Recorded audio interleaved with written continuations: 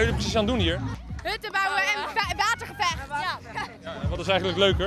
Eh, allebei, allebei, allebei. Watergevecht, ja? lekker, lekker afkoelend. Hoeveel mensen heb je al nat gemaakt? Genoeg. Ruim 400 vrijwilligers zijn betrokken bij de vakantiespelen. En dat is nodig, want het vierdaagse evenement wordt goed bezocht. Er zijn zo'n eh, 1200 kinderen vandaag aanwezig die eh, in hun leeftijdscategorie eh, of hutten gaan bouwen, of in de tent spelletjes spelen, of in een oudere groep eh, in het dorp eh, grotere spellen aan het doen zijn. Krijg je het nou niet warm van het timmeren? Jawel, heel erg. Maar er er zijn heel veel water en dat mag je over je heen gooien of over je hoofd smeren. Dat is wel fijn. Het is vandaag rond de 30 graden in Bodegraven. Fijne omstandigheden, maar de organisatie heeft wel extra maatregelen genomen.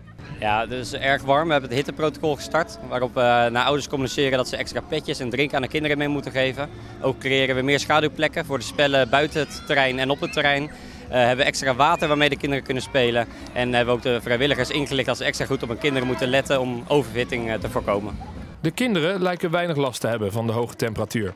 Zij hebben andere zaken waar ze zich druk om maken. We gaan pallets stelen. Van wie dan? Van alle andere groepen hier. Dat is niet eerlijk toch? Jawel. Dat hoort. Hoe meer, hoe beter. Is dit een eh, soort wedstrijd? Wat gebeurt hier precies vandaag? Eh, nou, je moet gewoon zorgen dat je de mooiste hut maakt. En dan de laatste dag gaan ze met z'n allen bepalen wie de mooiste heeft. En dan eh, kom je op het podium met je hele, met je hele groep. Hoe ga je nou met die warmte om? Nou, het is ehm, lekker warm natuurlijk. Je moet jezelf goed insmeren, veel drinken, goed eten. En dan ehm, komt het allemaal goed. En de beste hut bouwen. En de beste hut bouwen, ja. Jongens, het is klaar nou.